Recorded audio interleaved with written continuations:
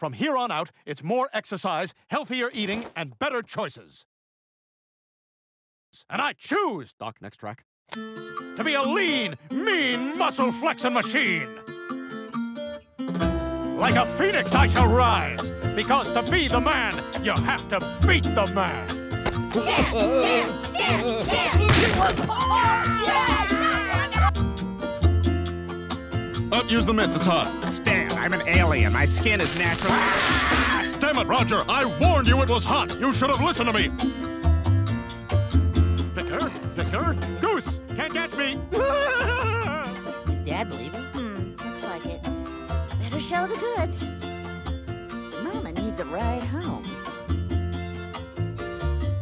Hayley, I have no idea what's going on, but it sounds like I should be proud of you.